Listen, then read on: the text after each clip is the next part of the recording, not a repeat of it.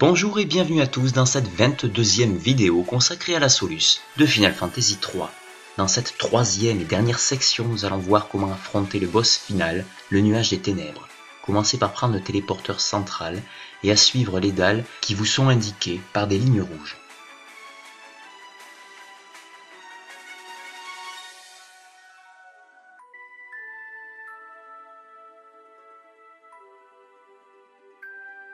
Vous aurez de temps en temps des combats aléatoires qui vous permettront de prendre un peu d'expérience pour pouvoir pourquoi pas prendre un ou deux niveaux avant le combat final. Je vous recommande un level minimum de 60 pour vaincre ce boss. J'ai 3 persos niveau 59 et un niveau 63 et vous allez voir, le combat sera particulièrement difficile. Vous arrivez donc tout au bout au nuage des ténèbres pour avoir marché sur le sol étoilé. Et à la fin de la scène cinématique, le combat s'enclenchera.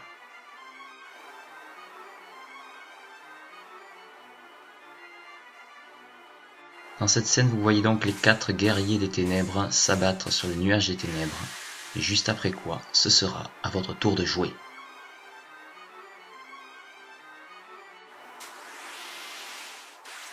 Le nuage des ténèbres est un boss à trois cibles, deux tentacles et le fameux nuage des ténèbres.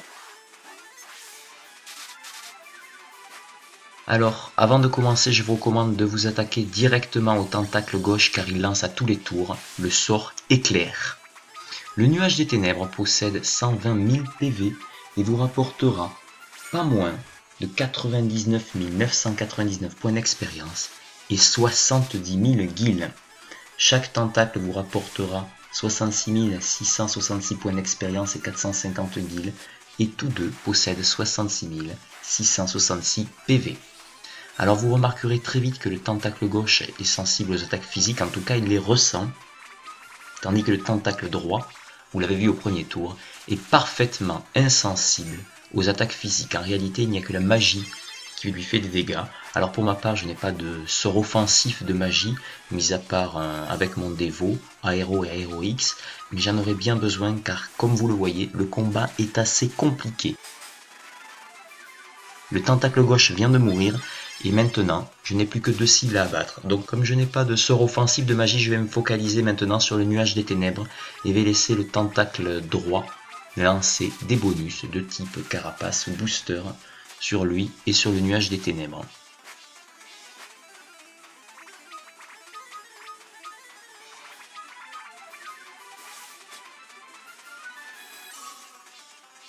Alors le nuage des ténèbres peut attaquer deux fois par tour et possède des attaques physiques classiques ainsi qu'une attaque nommée faisceau de particules, celle qui vous a anéanti un peu plus tôt dans le jeu. Cette attaque il la lancera de temps en temps une fois qu'il sera passé sous un certain seuil de PV. Elle est évidemment très puissante, ce pourquoi il faut vous soigner à tous les tours.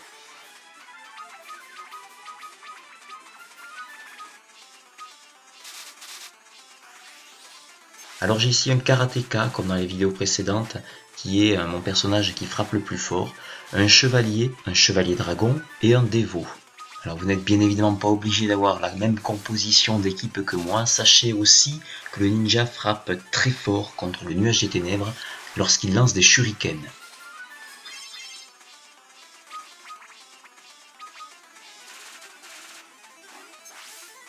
Alors vous voyez là que le combat est assez épique, sur mes 4 personnages j'en ai encore uniquement 2 en vie, ça c'est dû à mon faible niveau.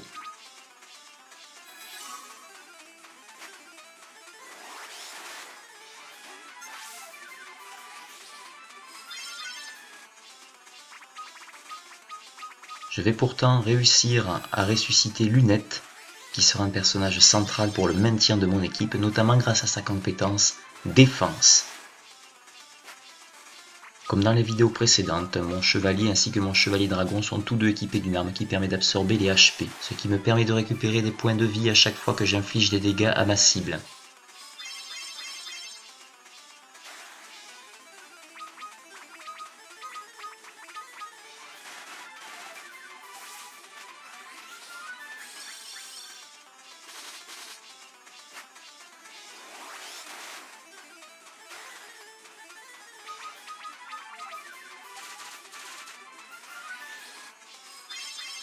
Nous arrivons à la moitié du combat puisqu'à présent le boss a perdu la moitié de ses PV.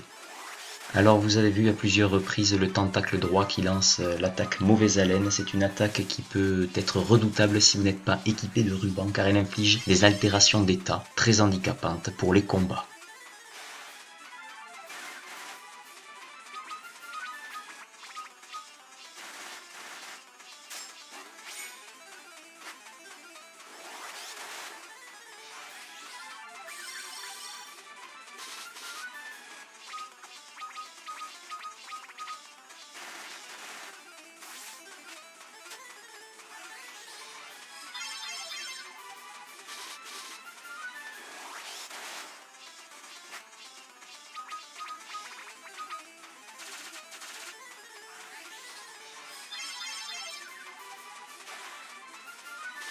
Le combat est à présent terminé, je vous laisse apprécier la scène cinématique de fin.